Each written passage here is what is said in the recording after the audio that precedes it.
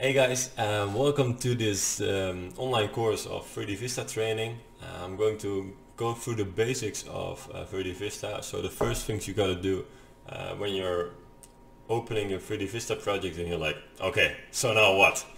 Um, let me help you with this. So the first thing you gotta select is um, the skin. Uh, there's a lot of different uh, templates. We're just going to stick it to the basic empty without color. Uh, just select it. Then you have these five options. 99% of the times I just use import panorama.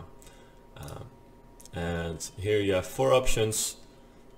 The same applies to standard panorama. It's 99% of the times the case. Um, and I'm just gonna keep things very simple for now. Then here you can see uh, you're going to look for your files, which you have. Um, I've already renamed my files so that um, I know which file is which. I know that this is the center, back and front. It's quite hard to see from the image sometimes. So file naming is quite important, uh, but more on that later. So you can just click and open and you open one. You can also select multiple by holding shift and then uh, on the second one or the third one um, and control R to select everything in that folder. Then you click open um, and it uh, imports all the panoramas you've selected in one go. Then um, you are in the publish playlist tab. Um, only in this area you can select the order of your panoramas. The reason why that's important because when you click preview um, the first panorama you will see is um, the first one in this list. So in this time it will be the panorama called back. Uh, but maybe you want the front to be the first and then you have to drag and drop them right over there. Um, also, the first time you're going to preview a, a 3D Vista project, it creates these multi-resolution panoramas.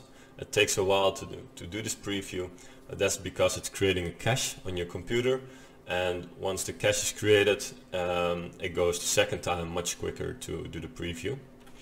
So as you can see, this is uh, the back panorama, uh, but I do not have anything to click on, like I can only look around, but I cannot move to another panorama or something like that. Um, so let's try that. Well, the first thing I want to try is to like select the order. So in this case, I want to say front is going to be there. Then I want center, back, something like this. This makes the most sense to me. Then I click preview again. And you'll see this is a different panorama now because it's, you see the, the benches, the couches. Um, but still no interactivity. So let's add interactivity. Um, we can add interactivity by going to panoramas and then we click um, here you have to select one of the panoramas and then you click on hotspots or I double click on them sometimes and then it goes to this but doesn't really matter. As long as this appears you have one select. Um, and then as soon as you're in hotspots uh, there's two ways to add hotspots. Uh, this is the first way. Image. Um, you see different images than I see uh, but these you also have. So when you go to animated for example this. Mm, and let's just start with this one uh, and now it is uh, selected but now it still needs to be positioned this hotspot. So we click somewhere within the panorama. I think it should be right over here and so it places it right over there. Um, then a nice thing to do is to rename the hotspot so you know where it's going to because this is planning to go to go to uh, uh, center. And now this is created. Click preview. And it's right over there. But clicking on it does not do anything. And that is because there's no action added to it.